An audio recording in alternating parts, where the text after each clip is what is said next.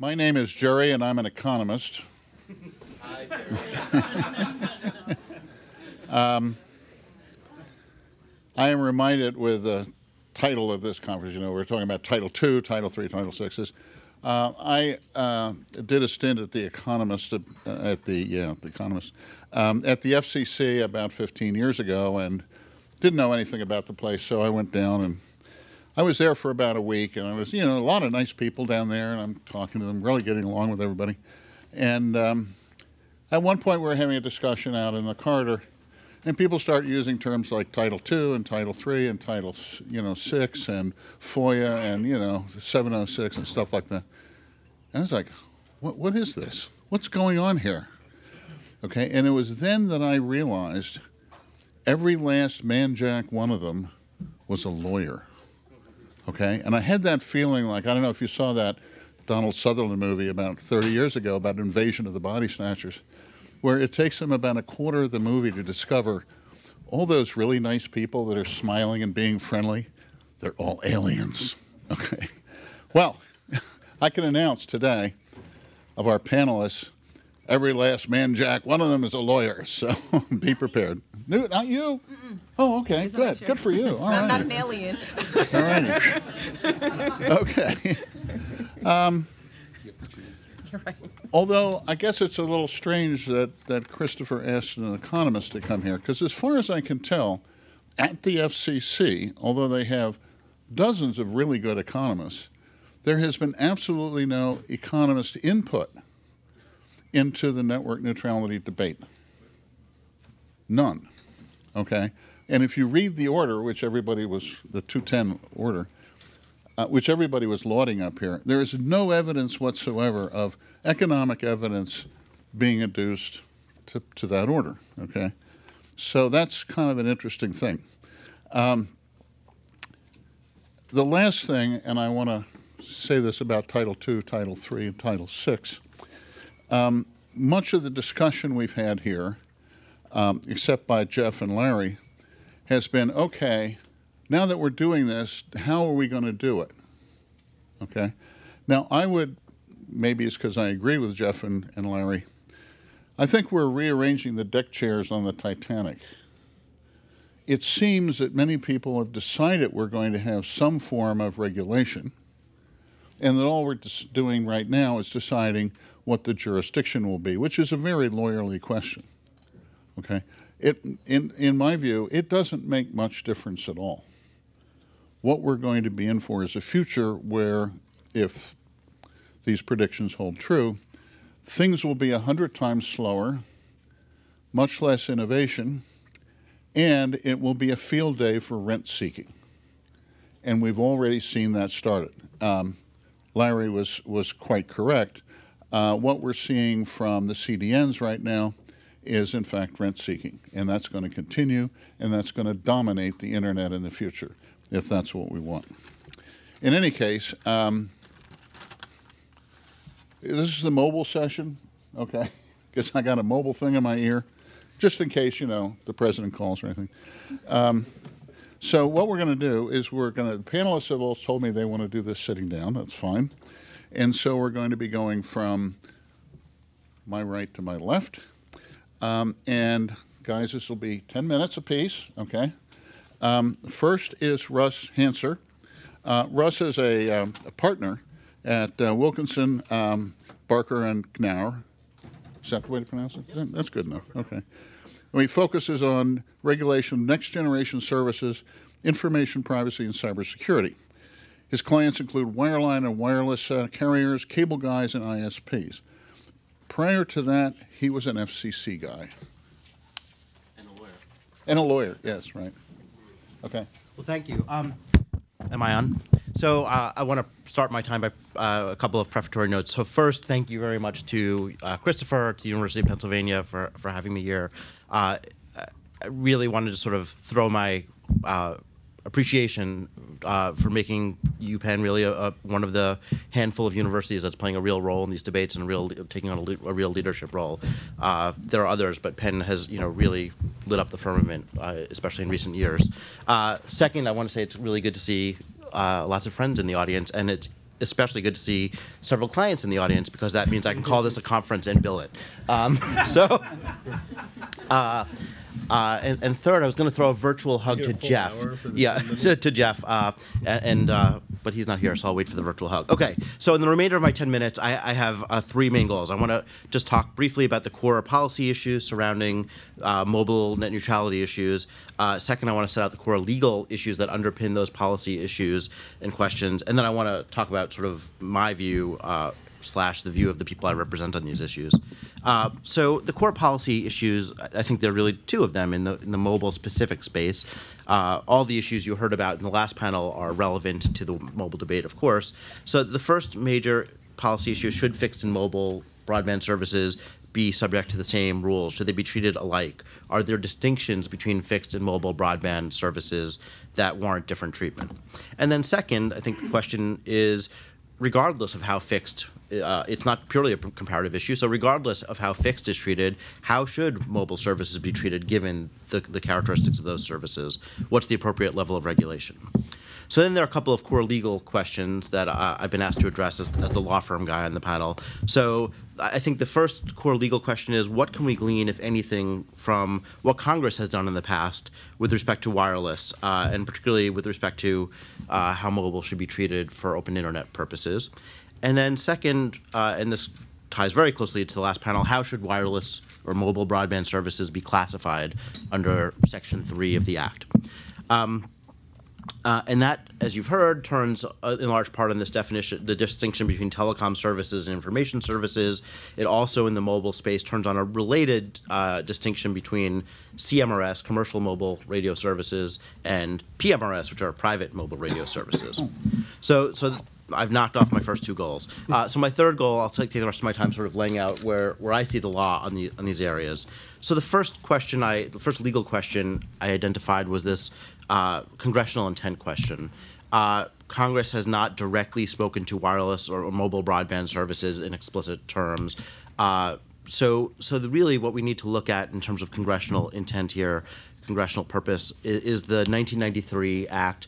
Uh, there's some stuff in the 96 Act, but principally this 1993 uh, Omnibus Budget Reconciliation Act, which people often call OBRA. Uh, this, for people who are politically sentient and you know aware, in 1993 was a very important bill. It was the Clinton budget that became a big uh, conflict. Uh, it was a tie in the Senate. Some of you may remember, and the new Vice President Al Gore to come in and cast the deciding vote. This wireless piece was a small part of that. I don't recall uh, people talking about the wireless debate, but uh, this section in OBRA 93 addressed principally commercial mobile radio service, uh, and it set wireless services on a very different course. So prior to 93, wireless services had been subject to kind of the same common carrier regime as, as fixed services for the most part. And Congress said, no, we shouldn't quite do it that way. And uh, principally, it did so through two mechanisms. One was before the 96 Act's forbearance mechanism that we hear a lot about, uh, the 93 Act had, OBRA 93 had a forbearance provision with respect to wireless. It said, FCC, there are cases in which you should decide, or you can decide, not to subject wireless to uh, traditional common carrier regulation. Go forth and do that. In fact, in 1994, before the 96 Act, uh, the FCC did that quite extensively and relieved a lot of obligations. Uh, so a very deregulatory intent toward mobile services. Second, there was a provision calling for preemption of state action. Said states you can't regulate prices or entry for wireless wireless services, commercial mobile services. So what we see in, in that uh, OBRA 93 paradigm is not direct, uh, well, I'll get a little bit to language that bears directly in this question, but no explicit reference to wireless broadband, which of course didn't exist at the time. But we see a lot of intention to view wireless in a different light and to treat it subject to a, a more centralized federalized regime and also to a more deregulatory regime. Um, so that brings us to what, what can we work with in the Act when looking at how to treat wireless for, for legal purposes? How am I doing in time? You go. You do. Okay. So, um, so as you've heard, there's this telecommunications, which is transmission without change in form or content. Telecommunications service under the 96 Act is the provision of telecommunications for a fee and broadly to the public or to large classes of the public uh, for a fee, if I didn't say that part already. Um, so on one side we have the telecom service, that's the heavily regulated stuff under Title II. On the other hand, under the 96 Act, we have information service, which always uses transmission, it always uses telecommunications, but it uses it uh, in conjunction with other functionality to enable users to uh, retrieve, store, process information. It's doing something, it's acting on the information. And the core question in the classification debate has been uh, is broadband internet access the joint provision of a telecom offering and an information service offering. Nobody doubts that there is an information component, and nobody doubts that there's a transmission component. The question is always, is it those two things each individually being provided together, or is it one integrated package? And of course, uh, in the orders that Mark was mentioning in the last panel, the commission held uh, four times that different platforms, uh, wireless, wireline, cable, and broadband over power line. You all have broadband over power line, right? um, so that, that those were all integrated information services. And the debate uh, uh, in the Title II space now is uh, has that changed? Or I guess in some people's view, was that never the case? Uh, uh, I would say on those issues, uh, it, things have changed in the sense that the service has gotten more integrated, not less. Uh, as we've moved into an era of, of spam and bots and uh, cybersecurity awareness, uh, as we've moved into an era where devices can be running multiple applications at the same time, there's a constant management, there's a constant processing and retrieval and storage of information from multiple sources that is always very closely tied to the transmission. Uh, and that's true for wired and, wire, and wireless, uh, although I've read papers suggesting it's even more true for wireless than for wireline services. In any event, that's probably splitting hairs because across the board there's a lot of integration. So again, my view, view of people I represent in this area is uh, wireless service, wireless broadband internet access is an integrated information service today, at least as much as it was before. Uh, and then the second, there's a second piece in the wireless analysis, uh, which is the Section 30, 332 piece. As I mentioned, this is the provision added by Congress in 93, and Section 332 separated the world into private mobile services and commercial mobile services. S- commercial mobile services, CMRS, are services that offer interconnection to all points on the network. Uh, and and uh, let's see, I'll, I'll redo the definition. They, uh, do, do, do, uh, sorry. Ah, here we go. So CMRS is any mobile services that is provided for a profit and makes interconnected service available to the public. The FCC has defined that to mean interconnection to all points on the network and that uses NANP numbering, telephone numbering. Uh, private mobile service, on the other hand, is anything else except for that or its functional equivalent, CMRS or its functional equivalent. Well, I think we could all agree that uh, broadband wireless service does not use telephone numbering uh, and does not make access possible to does not itself make access possible to all points in the public uh, telephone network. There are VoIP applications that do that, of course, but the broadband service doesn't. Uh, and Section 332, one minute left. So Section 332C2 says quite plainly that a person engaged. I'm sorry. So as a result of not being interconnected, broadband internet access when provided over the mobile platform is a private mobile service, irrespective of this telecom service information service piece. Uh, and as a result, it's subject to this provision, Section 332C2, where Congress was quite clear and said that a person engaged in the provision of a service that is a private mobile service shall not, insofar as such person is so engaged, be treated as a common carrier for any purpose under this chapter. Um, so when wireless pro- providers are providing regular voice service, sure, that's you know under the CMRS regime. Uh, when they're providing broadband internet access service, this is a second backstop. It's a backstop that the DC Circuit recognized, uh, uh, and that the FCC, frankly, has recognized in its order. So there's this extra layer in the legal analysis on wireless, and I'll stop there. Wow, that was good. Right on time. Okay. Thank you. Uh, thank you, Russ. That's my job, moderator.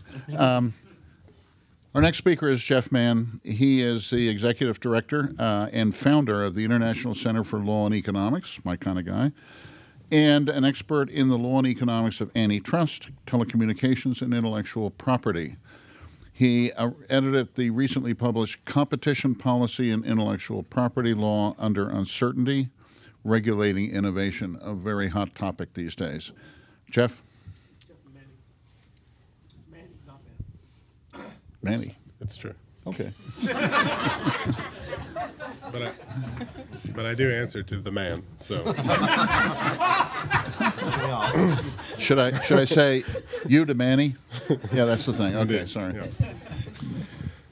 Uh, well, thanks, uh, Christopher and Gerry and, and everyone for having me here. um, I'm going to jump right in because 10 minutes is about uh, one tenth of what I would normally spe- do here. You've seen, you know, the way we write things. Uh, Bar- Baron and I wrote comments in this in the net neutrality proceeding that were 160 pages or something, single spaced. Everyone read them all, right? There'll be there'll be a quiz later. Um, so. Um, uh, we're, we're, we're here, we're talking about this because of the uh, suggestion that net neutrality principles, whatever they are, um, should extend beyond the uh, open internet orders principles, even beyond the um, uh, kind of the bare suggestion in the NPRM, uh, and, and that we should impose some sort of common carrier status on, uh, on broadband service providers, and in particular, for purposes of this panel, mobile providers. Um, I, I have a couple of choice quotes here to suggest sort of what the um, what the perceived problem is from public knowledge. The company that connects you to the internet should not be in a position to control what you do on the internet. Tom Wheeler says if it interferes with the operation of the internet, um, if it does have some kind of preferential treatment given somewhere, then it's cause for us to intervene.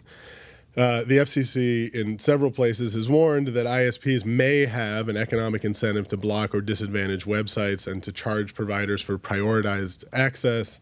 Um, of particular concern are threats to American innovation. It's this the the uh, virtuous circle that we've heard about, where uh, innovation apparently only happens on the edge, and and all that matters is that we we have this virtuous circle, um, the purpose of which is not to incentivize innovation everywhere in the circle, but to make sure that the edge uh, gets everything that it needs with an implicit and explicit understanding that it is broadband and internet service providers that stand between edge innovation um, uh, uh, of the future and um, I don't know the Stone Age. Um, so my question is: Is any of this true, and is any of it true on mobile uh, in in particular? I, I think we're going to debate uh, later and uh, on, on this panel and elsewhere the differences between mobile and and fixed. Um, uh, I, I, don't think that the differences are all that substantial. I think the things I'm going to talk about in a second apply in both in both places. Um, there is one important difference about um, uh, as an engineering um, in, in terms of engineering between mobile and fixed wireless, and that is um, that in in mobile uh, all the users on a network are, are sharing and moving between different nodes, meaning each pipe has to be shared in real time between potentially all users uh, in an area, which makes managing traffic much more complicated than on a fixed um, on a fixed line where that kind of mobility, by definition, doesn't happen. Um, and for that reason, I think it's reasonable to assume that mobile operators need more leeway than fixed providers. Um, uh, and and for that reason, it's possibly the case that applying identical, uh, if they're sufficiently restrictive, rules to both would likely hurt the dramatic growth in mobile, uh, mobile and wireless networks. But with respect to the economics and the business models of the content uh, that's being op- being offered, I don't really see appreciable difference, um, and uh, and that's what I want to talk about today. So um, the the real concern is this idea that prioritization that somehow that somehow if the broadband service providers are in a position because of a deal with content providers or uh, or or simply be, because of their their intrinsic incentives uh, to to affect in any possible way what consumers uh, see on the internet or have access to on the internet that this is a problem that needs to be corrected and arguably needs to be corrected by by common carriage. There's uh, innumerable examples. Um, of these kinds of services that presumably would be blocked, that presumably, and in some cases explicitly, again by the consumer advocates and self-proclaimed consumer advocates anyway, and others, um, so you know, suggest that these are indeed the things that need to be blocked. So I'm going to give a few examples here. Um, these are these are interesting and and novel, although they're becoming you know, sort of so common. I don't know that they're that novel anymore. Um, ways of uh, of operating, uh, in particular on mobile networks. Um, uh, and offering consumers services, in particular, given uh, that that for right now, I should I guess I should point out that for right now there is one other difference between fixed and mobile networks, and that is there's obviously more scarcity on uh, mobile networks. It won't always be the case, and, and it's certainly nothing intrinsic, I think, in the physics of either network that means we will always have terrible and and um, uh, problematic scarcity on mobile networks and not on fixed networks. But right now that is the case, and as a function of that, and probably some other things as well there is a perceived need to to subsidize what it costs to access some of the the most interesting new and potentially bandwidth intensive content um, uh, on mobile devices. So you have things like T-Mobile's Unradio, um, where it it subsidizes consumers' use uh, or uh, access to certain music services um, if they subscribe to the service and listen to to the um, uh, music services that are part of the service. It won't account against their their their data uh, uh, limits. Um, it's worth pointing out that in this example, T-Mobile receives no payment from the music services, um, and T-Mobile's users can nominate new services, and if there's sufficient interest, get their data exempted as well. In the sense, it is a it is a an open access sort of regime, but it is an inherently prioritized regime. It prioritizes music data over other kinds of data, and unless and until every single music provider is included, it prioritizes some music providers over others. There's obvious consumer demand for this. There are obvious consumer benefits from this. I have apparently three and a half minutes left, and and so and about seven pages describing those consumer benefits. But but you can imagine uh, what they might be. Um, uh, there's the classic Metro PCS uh, YouTube example um, where Metro PCS was a sort of upstart fifth uh, mobile provider trying to find ways to make a to, to get a leg up. Its customers tended to be lower income customers, people who weren't using you know all of the the massive bandwidth intensive services on the internet. They came up with an idea to subsidize um, certain content. The content that apparently uh, its subscribers wanted. The outcry was enormous. Um, this was perceived to be a, a, net neutrality violation, a violation of the open internet rules, which hadn't actually even been adopted yet. Uh, and, and Metro PCS scrapped the plans uh, entirely. Right now, we have the, um, uh, the advent of AT&T sponsored data and a company called Syntonic Wireless that offers something called the Connected Services Platform.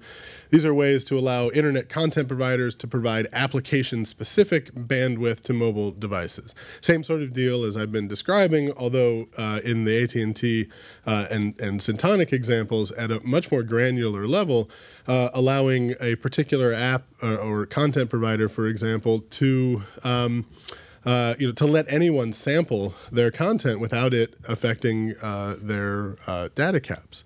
Um, the uh, the kinds of customers who, who might be um, benefited by this, again, are at minimum those uh, who have have uh, less intensive demand and who may not have the resources available to consume uh, or to, to purchase a, a data plan or the availability of an amount of data that they're unwilling to pay for and unlikely to use.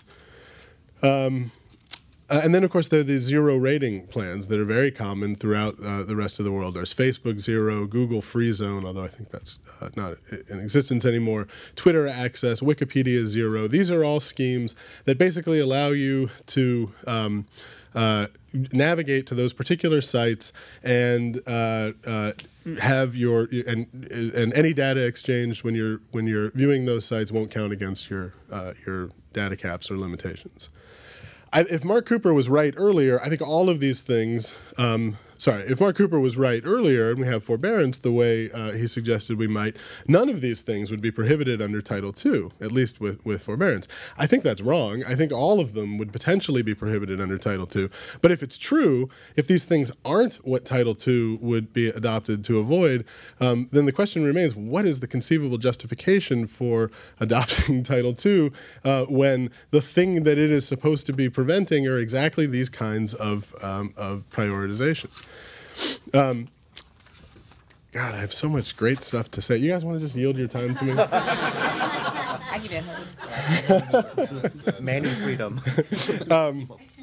Uh, so, uh, uh, yeah, let me just pick what's the best part. Um, I, I guess the, the what I really want to suggest here is that on the one hand, um, the, it is undeniable that these sorts of business models that have emerged uh, on on the uh, mobile internet are uh, prior, pro- prioritization. I mean, every one of them involves uh, some treatment of some data differently than other data. It's not packet prioritization, though. We just need to make that clear. It's Right. prioritization of business. These are business, right? a- Absolutely, right. This is this is business model prioritization. This is not an engineering matter, but but that's actually really the point. Is that is that that regulation of uh, um, the, the regulation here is very clearly being pushed by those who have a problem with the uh, with the business model prioritization, with the business prioritization. They don't particularly care whether packet A is treated differently than packet B. I think.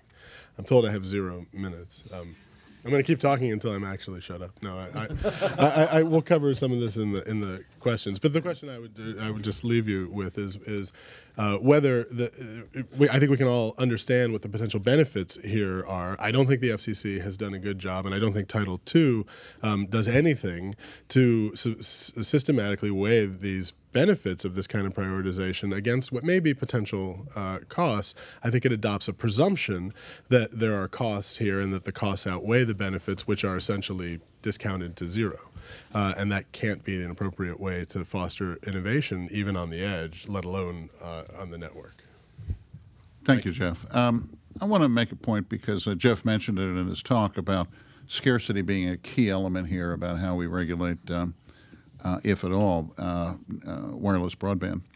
Um, in a sense, the FCC really holds the key here because the fact that it's a scarce resource is due to the fact that the FCC has not been able to identify enough spectrum to get out there in principle, the FCC could do so. It seems to be trying, but not really very hard. Um, because if there's a future to the, the market structure of the broadband network, it's going to be wireless. And could we imagine a situation in which we had, say, six broadband providers, four of which were wireless? And wouldn't that look pretty competitive? And what are we waiting for, FCC? Let's get that spectrum out there. This is within the FCC's capability of doing this if it could get its act together. So, to some extent, we're looking at a problem which is due to an artificial scarcity, in my view, which the FCC could, in principle, fix. Now, having made that statement, let me move to our next speaker, who is um, Nicole Turner Lee. She is vice president and oh, and a, not an attorney. She informs me. Yeah, okay, good for you. And Good. not an alien. I am not an alien. Oh, good. Okay, you'll get an extra two minutes for that. Okay. Uh, she's vice president and chief research and policy officer for the Min- Minority Media and Telecommunications Council, and she is author of the first National Minority Broadband Adoption Study, which was cited in the FCC's National Broadband Plan. Nicole. Thank you. Um, and good afternoon, everybody. And thank you, Chris, for having me here. Um, I was really flexible. so stayed up a little later, but I'm here. um, I'm going to echo some of what has already been said by many people. And I think I'm going to pick up on some of your points. So you are the man. And uh, so I'll pick those up. Yeah, exactly. And for those of you that don't know MMTC, our particular focus in this whole debate, whether it's Title II, Title III, you know, whatever title you want to name, is on the impact of anything that we do in a regulatory framework on communities of color and vulnerable populations. And that's an area I think that's near and dear to our heart because any kind of tweak in the regulatory framework has the potential to sort of offset some of the progress that we've seen since I published the study that was referenced in 2009. We're just beginning to see an upward tick in the type of broadband adoption that we want to see among vulnerable populations, particularly those that are low income. I see Debbie Berlyn in the room, seniors, uh, not um, uh, not as abled uh, to move around as many of us in this room, et cetera, have uh, physical disabilities. And I think we need to be sensitive to that fact that if we're trying to solve a basic problem through uh, regulation of universal broadband adoption and deployment, uh, the route that we take has the potential to actually, again, tip the uh, tip the, the steering wheel in a way that it may not be productive. I do want to express that um, in this panel, we have filed an MMTC formal comments on Title II uh, application. Uh, we've not necessarily filed on mobile, the application of mobile services, except in the reply comments. And we stand um, as of counsel to 45 national minority organizations across the country that have actually chimed into this debate. So I want to put that out there because some of the things that I'll share today are more pertinent to MMTC than to that coalition of stakeholders. So I'm just going to give three points, and I love your timer because I talk a lot too. So I'm going to try to keep it to 10 minutes as well. Uh, yeah, you can put it back on and just nudge me, whatever you want to do. I, I, you took some of my time though. Um, um, so I'm going to touch upon like the conversation that we've had today in terms of the application of the open internet principles to mobile services and uh, whether or not common carrier regulation is actually appropriate. So I'm going to start with my first point, which is the fact that we should all be thankful that the 2010 principles that we that have, that basically um, have, were put forth, uh, that light touch regulatory approach, have actually created the wireless ecosystem in which we live today. Many of us come to depend, live, enjoy our mobile devices, and that was not by accident. That came because the 2010 regulatory principles created a pathway for that type of wireless explosion that many of us are highly dependent upon. And I think to ignore that fact, whether you are uh, African American, Latino, mainstream, you know, educated, etc., is, is something that you're fooling yourself because that's basically how we got to this point today. Um, some of you stood in line for that iPhone 6, so you know what I'm talking about when it comes to that. And for people of color, it's particularly exciting because mobile has provided a pathway to creating what we call at MMTC first class digital citizenship. It actually has engaged more people of color, uh, particularly underserved in underserved communities, to be more engaged in the internet ecosystem. So I wanted to share a couple of stats which I think are really exciting to, to point out. In the case of Latinos, for example, 72% of Hispanic adults over 18 own smartphones, which is nearly 10 percentage points higher than the national average. When it comes to smartphone usage, for example, 52% of Hispanic consumers use their smartphone to watch, download, stream video versus 37% of non Hispanics. And 49% of Hispanic consumers said they plan to upgrade their smartphone in the next six months. That is surprisingly important to note because in 2009, when we did the National Minority Broadband Study at the Joint Center, those numbers were pretty flat. We were still calling uh, uh, cell phone devices, uh, mobile devices, cell phones. they were not smartphones when we actually did that study in 2009. So, in some, we're actually seeing a reliance upon Latinos on this um, medium. And what's more important is that they're using their wireless devices for educational and other public good and individual good applications, whether it's related to school, work, or personal management. That's a good news story for us in the community. For African Americans, we're seeing similar upward, uh, upward trends when it comes to wireless services. 89% of African Americans consider their wireless service an essential service in their everyday life, myself included. 69% of African Americans use a device for things related to work, school, or personal management, and 58% of African American users um, basically are not, you know, going to replace their wireless device when it comes to uh, that dependence. These trends are also consistent, if I had more time, with rural communities as well as uh, low income and people without high school degrees. And these trends suggest, I think, you know, that it's not broken, so why are we trying to change it? um, and my grandmother, you know, used to say that to us all the time because one of the fundamental concerns, I think, about the value of net neutrality, which I think all of us in this room overwhelmingly agree to open internet principles, is that we should be looking for ways to now digital disparities that exist, particularly among these populations. Um, I have a neighbor who is actually growing a garden. She's been doing it all summer. And what's so neat about it is her garden has kind of grown out versus up. And when I think about the imposition of common carrier regulation on mobile services, I think about a fence that actually takes everything that we just described in terms of the use of these services by minority communities and it, it closes it and embraces it and, and changes the way that we're actually seeing that growth, which actually uh, goes to my second point in terms of not upsetting the apple cart. I want to kind of pick up on what Geoff talked about in terms of the dangers of applying uh, the same rules to wireline and wireless broadband. Um, having been a person that worked in one economy and actually, you know, physically plugged in wireline devices back in the days in the tough streets of Chicago, you know, it's different. And wireless is nothing like wireline from a network perspective. And I think we need to be sensitive to that. Um, I'm not an engineer, but I have enough savvy to know that fiber doesn't have to worry about bandwidth changing every second. My positioning of where I'm on my phone, if I'm in transit or if I'm standing next to somebody who's downloading video, the complex and aggressive network management that we see with wireless the wireless ecosystem i think is something that we should consider and something that we also should be very wary of when we talk about imposing common carrier regulation or fixed regula- regulation we would put on fixed broadband onto mobile. I think that's something that recalibration often is is sort of lost in that conversation particularly for those of us that are not engineers. But for those of us again that represent constituents of color those things are very important because they go back to whether or not we're going to have policies in place that continue to push for broadband deployment and wireless deployment. I want to go back to the early comment about spectrum. I mean, spectrum shortage, and one of the things you've seen MMTC do recently is get very involved in the spectrum debate.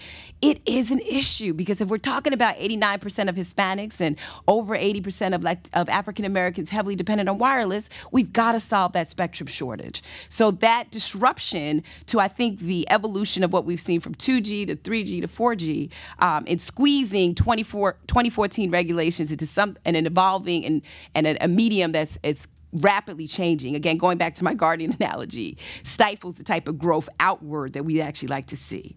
And then my final point because I'm going to try to stay on time, and I'm sure, I'm sure I'm not. So somebody kick me.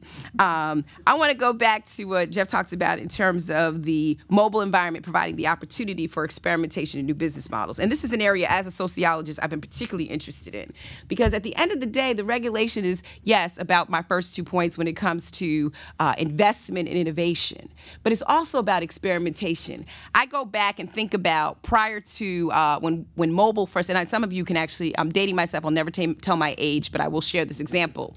If you all remember the day of the car phone, when you had to carry around a big luggage bag with your telephone in it. And when I was growing up, the only way that you had a wireless beeper is if you were a physician or some type of high profile professional. It was completely unaffordable to have that. I just remember the south side of Chicago when they started offering beepers for like $10 a month, they were really not legal devices. But what's been interesting, I think, in the mobile ecosystem that is worth noting for people of color is that the mobile marketplace has had to come up with strategies for competition. So we've seen the emergence of, you know, and, and, and Geoff pointed to some of the examples, which I'll talk about, just one of them. We've seen the emergence where we've seen the waiver of early termination fees, which back in the days was not going to happen when it came to wireless services. We've seen the emergence of prepaid plans which I, as a sociologist, I would have never imagined that we would have seen prepaid service plans on, on wireless services because at the at, in the beginning, wireless service and broadband you know, for the most part, was a was a a, a, a form, an asset of the privileged. Let me put it that way. It was for the digital elite. And I think we've seen some experimentation in the mobile ecosystem, and we're going to continue to see more. Geoff talked about the T-Mobile uh, Music Freedom Program. MMTC, you know, came out. We we were alerted about this program. We were told that it was a net neutrality violation. We looked at the issue carefully. We actually looked at that program with two positives. One, we were able to go to T-Mobile and say you need to put some black stations and Latino stations in that network, which they accommodated. So thank goodness for T-Mobile for listening to us. But two, it also reminded us of the fact that in this whole debate, heavier users should not be subsidized by new and late adopters to broadband. And if there are ways to actually look at the mobile ecosystem, much like the T Mobile program and what we're seeing with the sponsored data plans, to customize for our population uh, usage plans where we're not shifting the cost to people that simply can't afford it, I think there's something to be said about that. And so we were actually proud about the T Mobile plan because for us, wireless, much like fixed broadband, is serving for an entry point for digital inclusion. And again, for us, it goes back to universal broadband adoption and infrastructure deployment and whether or not any regulation that comes into place is going to facilitate those outcomes. So I think that model, and what we've seen earlier with Metro PCS, when they also uh, eased some of the data caps when it came to came to Facebook. I mean, think about it. Minority consumers are over-indexing in social media. Are we going to actually have those types of taxes and you know levies against them for wanting to participate? So I think in the end we need to be very very careful about looking at. And I know there's been a lot of arguments about uh, splitting the internet and having these two internets because you've got two different rules. I really think, and, and we sort of carry the same presumption when it comes to fixed broadband as well as many of you have read our filings. The internet is not mature we have a long way to go when it comes to the type of regulate, regulatory framework that we impose. And we need to be considerate of the fact that, unlike telephone service, broadband is not ubiquitous. And I, I continuously tell people that because we get, you know, a lot of pushback on our opinion oftentimes. But until we see a ubiquitous service, why are we entertaining the thought, and particularly for mobile, of bringing a 1934 common carrier model to something that is really beyond the 2014 expectations of what we actually realize today. And I ask all of us in this room, and again, I speak primarily for the constituents of color who are trying to get on. Before we save the internet, I tell people get everybody on um, the internet, and then we'll go from there. But I ask, you know, again, that we ask the FCC to be very cautious about applying the same types of rules of wireline and wireless, given the three points that I've mentioned and what's already been mentioned by the previous panelists, and I'm sure what Michael will mention uh, going forward. Any route that we take has a disproportionate impact on those consumers that are not fully included. So I'll stop there and then we'll wait for questions and answers. Nicole, thank you very much. I'm very interested in some of those numbers that you turned down. There was a recent um, study that was published at the FCC, which takes a kind of an orthogonal cut at that, and I'd like to mention that because I think it's important. Um, and this had to do with uh, not wireless broadband, but wired broadband and its implications. Um, they studied what they were called uh, in this business non adopters, that is to say, people who have not adopted wired broadband. Um, and for those of you who don't know it, the adoption rate of wired broadband is about 70% of households in the United States. It's much lower than you probably thought it was. Um, and they did a, a survey of these non adopters, and they found out get this two facts here. One was two thirds of them said, even if it were offered for free, they wouldn't take it. My mother. But half of them had access to broadband wireless smartphones. Now, I'd like to put that together with your numbers here, and that says maybe you don't want wired broadband, but when you have it in your hand, it's a different situation, which is kind of the point you made. I thought that was very good. Yeah, and I mean, you know, and I do have, I think wired broadband still has, you know, important implications for the yeah. ecosystem because you, there are certain things you cannot do on your smartphone that you can do through a wired connection. So I think, you know, it's a balance, but for communities of color, you're completely right. We still struggle with the relevance population. As Blair Levin often says, and I said he shouldn't say it publicly, we'll just wait for those people to die off and then, you know, everybody will adopt. Hey, and I said, wait. that's really just not a politically correct way to actually put Uh, that. certainly isn't, yes. Okay. But I think at some point that will become a non-issue. Debbie knows what I'm talking about. N- Nicole, true. you've already used up that extra two minutes I you. Okay, all right. Nobody's gonna give me a hug too. No hugs here, I'll tell you that. Uh, okay. Our, our uh, final speaker is Michael Calabrese. Uh, he uh, directs the Wireless Future Project at the New America Foundation, which is a nonprofit think tank here in town, for which he serves as vice president. Now, as part of the foundation's Open Technology Institute, he develops and advocates policies to promote ubiquitous broadband connectivity and mobile market competition. Good. Go ahead. Okay. Thanks, Gerry.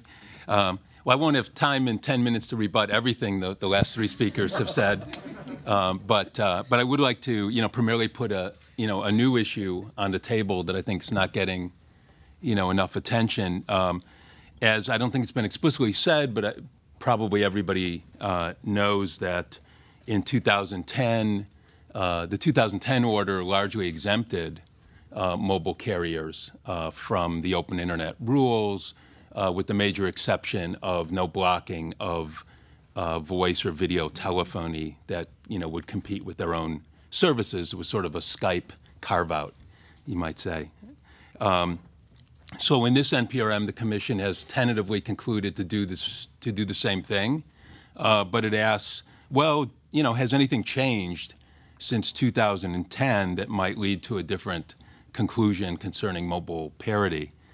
Um, so since 2010, um, you know, we maintain, and like Geoff, probably comments that were too long, um, that the mass adoption of mobile computing devices, smartphones, tablets, and so on, uh, nationwide deployment of high-speed 4G networks, and massive Wi-Fi offload have actually changed everything.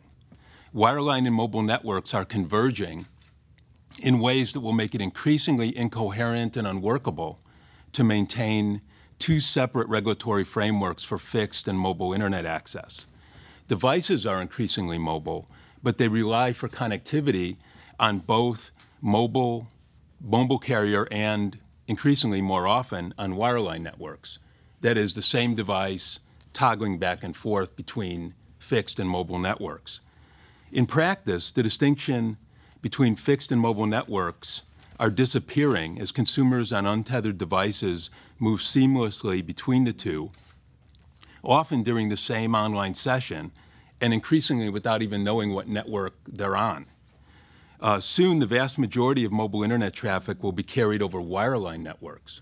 So stop and think about that. Mobile data traffic is going to be mostly on wireline networks, and devices that your internet access will be on devices that is toggling back and forth uh, incessantly between the two.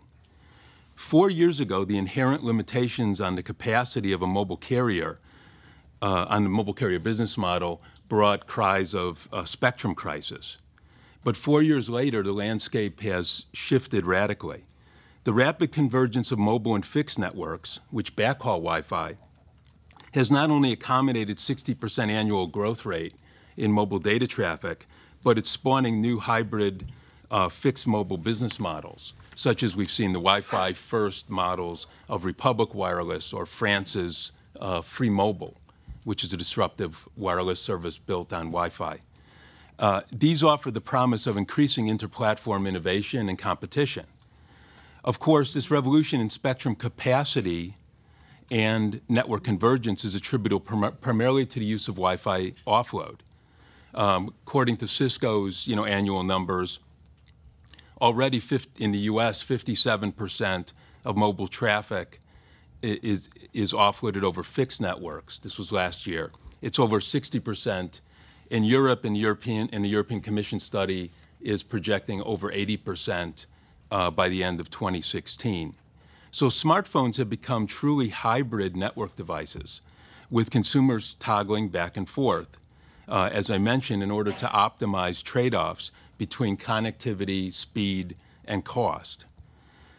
Cable and other wireline carriers um, as a result, are developing hybrid networks that integrate Wi-Fi and can soon offer hybrid fixed and mobile services. And this may be part of what Gerry uh, was alluding to. So in France, I mentioned uh, Free Mobile.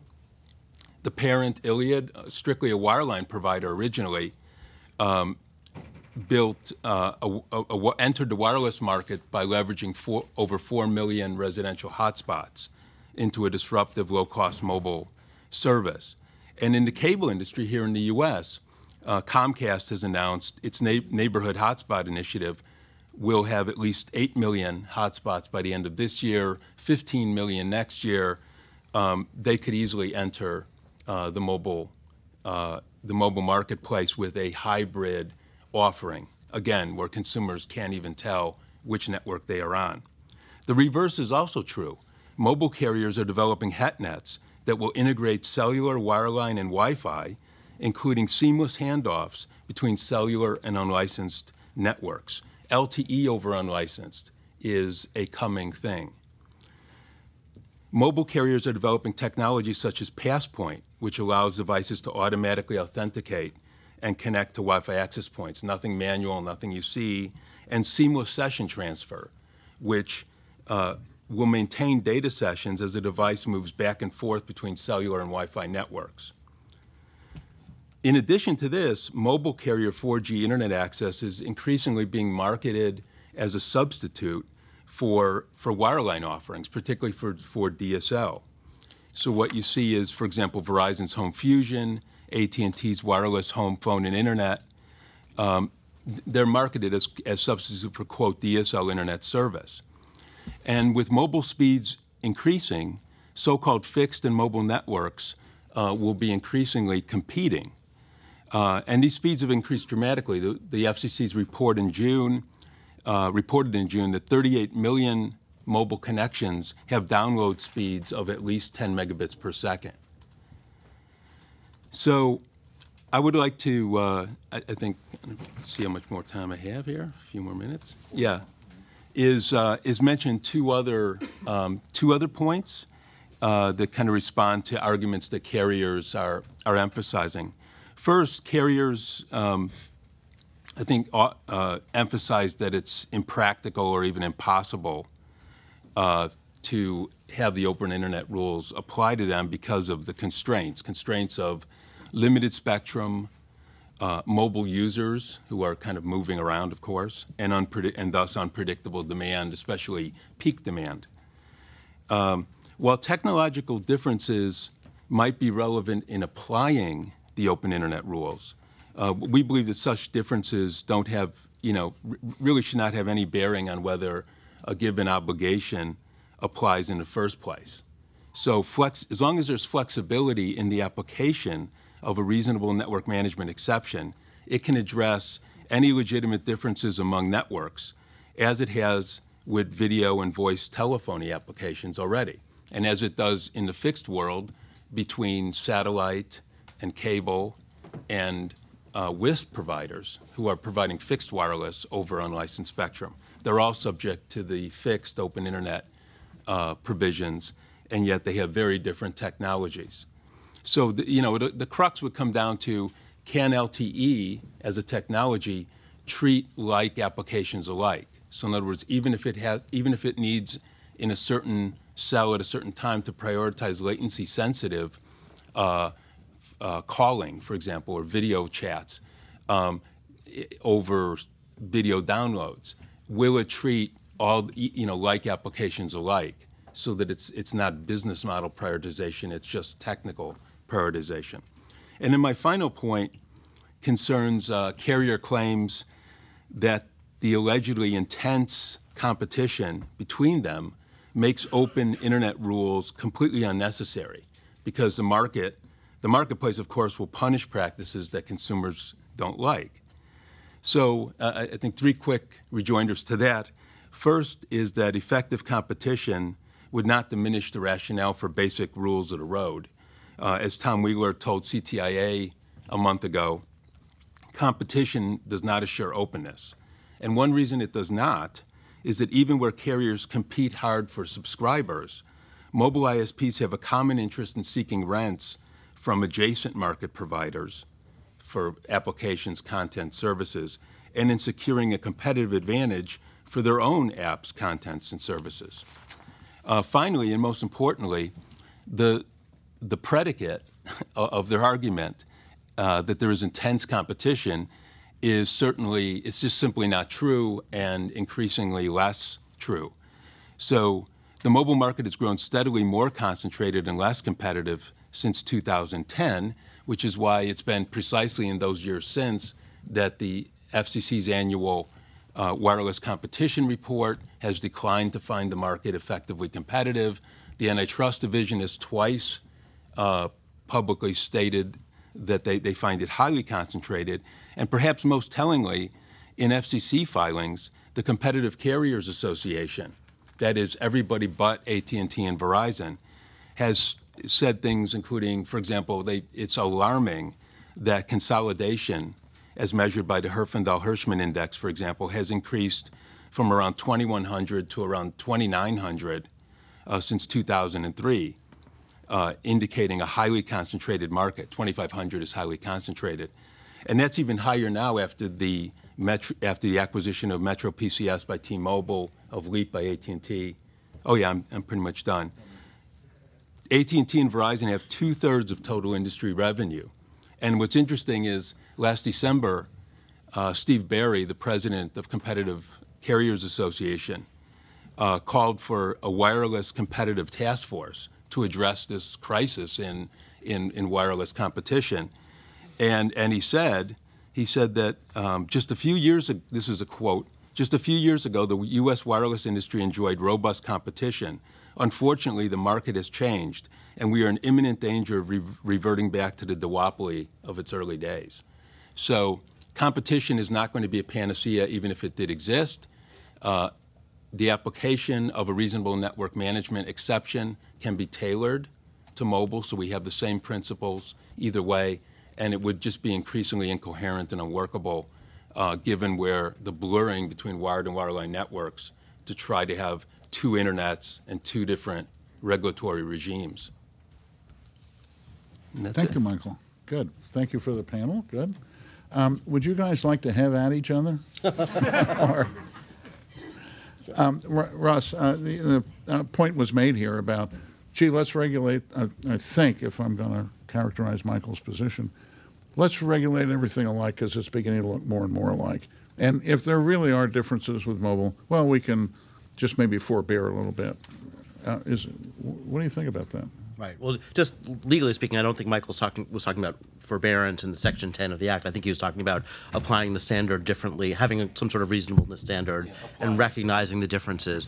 Uh, and and with due respect to Michael, and I, I do greatly respect him and his and the work of New America, I don't think that works. And part of the reason it doesn't work is illustrated by Nicole's comment that they were appro- MMTC was approached saying, "Look at music freedom. This is bad. Please decide this is bad." Well, who approached them? She didn't say.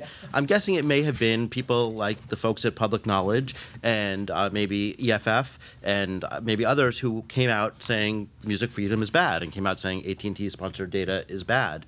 Um, those and, and I realize those were business models more than the technical issues, but the same principle applies. There are groups that uh, instinctively criticize these, kind of practices, and under a regime where uh, wireless providers, mobile providers, were subject to reasonableness requirement, they would most likely have filed complaints at the FCC. Now, I think the response from Michael is okay, but if they can demonstrate it's reasonable, they could win. Uh, the problem is winning isn't everything. And you know, Jeff Pulver earlier was talking a little bit about the Pulver order uh, when he introduced free world dial-up. He actually Pulver affirmatively went to the commission uh, seeking treatment as an information service, but it was because people were coming and saying this is telecom and you should be regulated and you should be doing this and that. Going through those processes itself takes a lot of time. Um, firms like mine make a lot of money, frankly, because these legal proceedings take take up a lot of resources.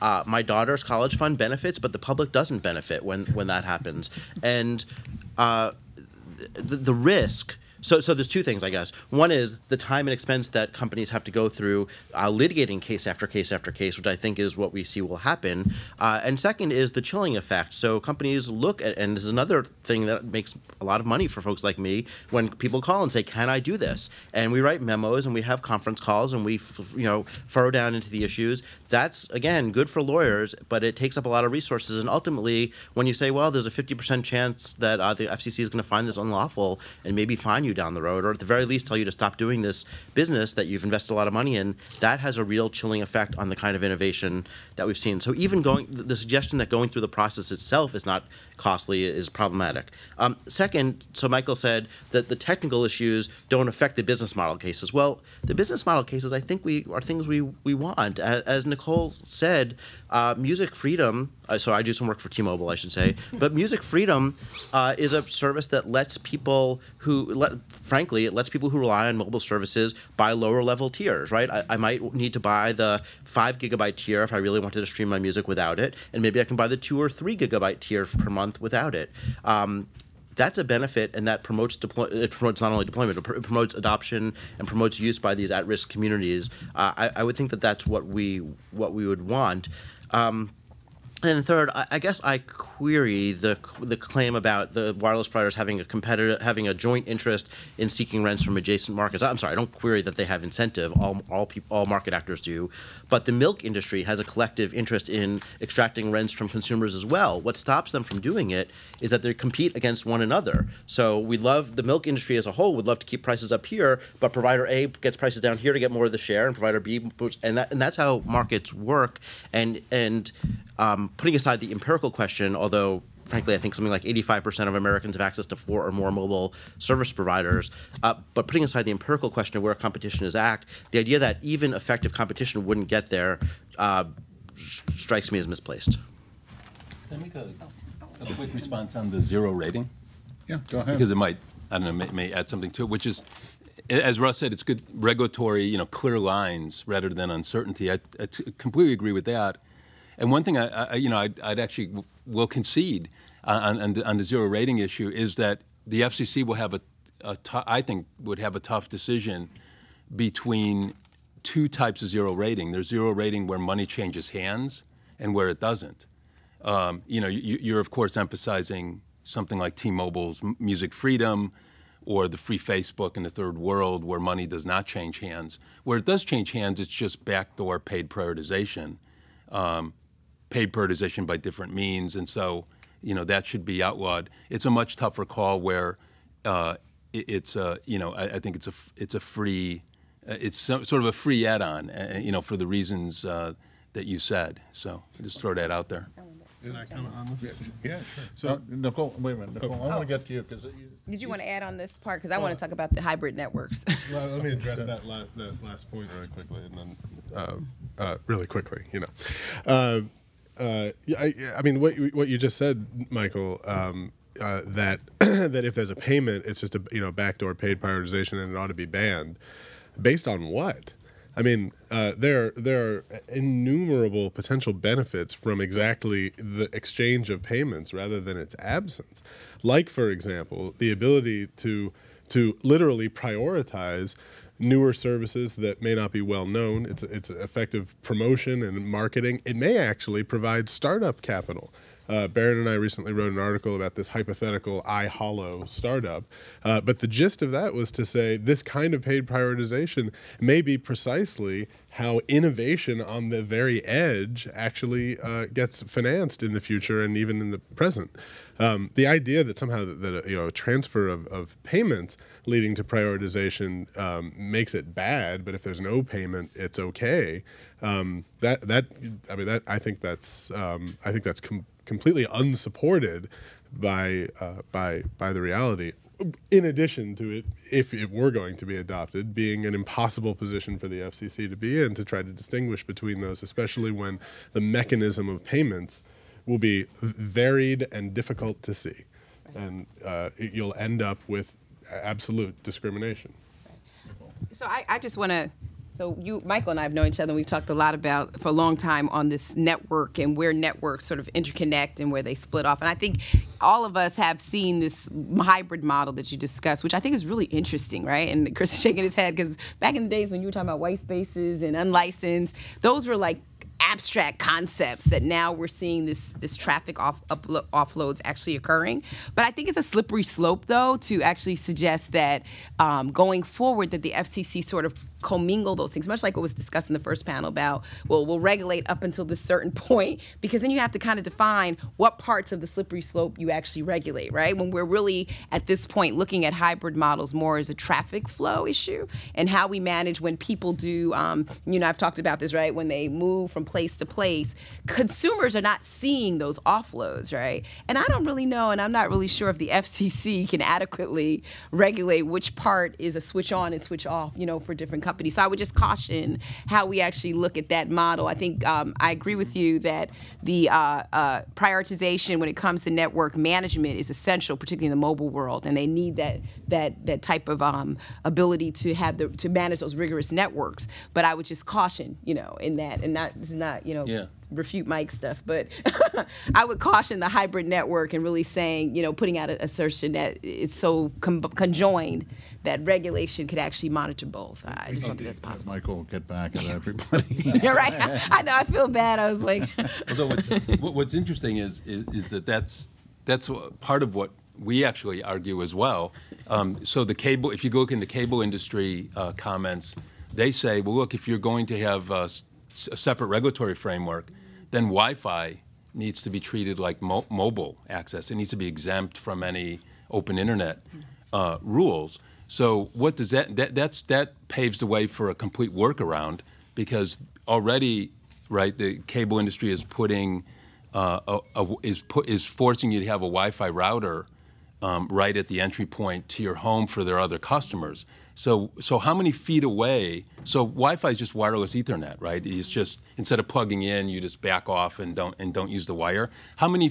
The FCC is going to have to decide how many feet away from the router from the connection do you need to be in, when it magically transforms from a fixed service into a mobile service? So there's these questions like this we raise in our reply comments in particular, and that the cable industry raises, which is just crazy. I mean, to have these two different regulatory frameworks. One more, you'll get the last word. Go ahead, Russ. Um, Michael just used the word workaround, and, and I think implicit in that word and implicit in some of the debate on this point is the presumption that, you know, that customers of mobile broadband services will have less good, less open, less free services than others.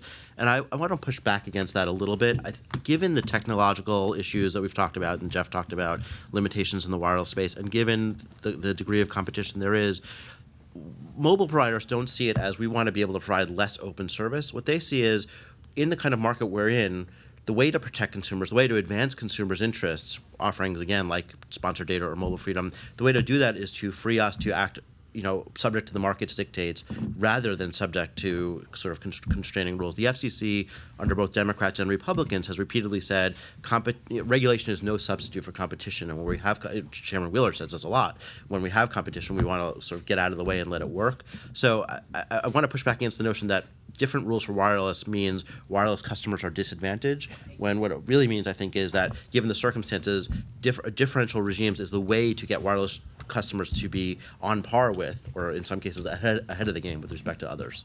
You know, that's not, just a quick thing, and that's not what the, what the track record um, shows, because I, I think you had it right at the beginning when you taught, when you made the distinction between business model uh, prioritization and technical or engineering prioritization. Because what the mobile carriers have demonstrated over the past few years is that they are just chomping at the bit to do business model prioritization, and they've had to be slapped back s- several times on that, even though the wireline guys, you know, have been uh, have been observing the rules. So, two two quick examples: FaceTime, and both of these, by the way, undercut what Nicole was saying about how somehow having um, uh, not having mobile parity is good for low income and minority folks. Okay, first, uh, FaceTime, AT and T uh, was was allowing um, was allowing use of Face, FaceTime app on iPhones only for its high-end customers and not for its low-end customers until a couple of our groups drafted a complaint that you know Chairman Genachowski you know almost went through the roof and basically forced AT&T to back off that so that they would actually allow FaceTime for Nicole's folks. And AT- and Verizon was fined one point when they wouldn't back off was fined 1.25 million dollars for blocking tethering apps. So these same folks who can't afford to buy both um, an expensive wi- high-capacity wireline connection at home and an expensive mobile plan might want to use their, their smartphone for tethering. Uh, they were being blocked from that because they wanted to sell it as something separate. Uh, and under the C-block rules, they could not, they were fined. So you just see that unlike the wireline world, wireless guys really are looking for this business model prioritization. Yeah, but yeah. Okay, okay, okay. Jen- Let, let, let's, let's really- understand, we're keeping these people from lunch. I think we're keeping them from their questions. There we We go. have hundreds of them. But, but if I could just say one thing, just real quick, since Michael did put the question to me, I'm sorry. I'm a woman. I probably got a little bit more power in that. I'm the woman, you're the man. Um, I think those are really good examples, and I think that's, I mean, part of what MMTC has said too. That some of those examples are um, nominal, that they and they are being worked out in the marketplace, and I think that's the same thing that we experienced with the T-Mobile Music Freedom Program, right? It got worked out without having to have a regulatory framework that stifled the innovation that we're seeing, and I think that's, I mean, part of this whole debate that we're all in on this now is really the balance between uh, the extent to which you know, we all have put out there that discrimination is bad, right? But the approach in which we actually uh, go about it and what the cost implication will be in the end. So I, I agree with you that we have to constantly look at those examples and handle them on a case by case basis. But I, I don't agree that we have to put in stringent regulation that will stifle everything, all the good that's actually coming out of the ecosystem as So well. let's hear it for our panel. Yeah.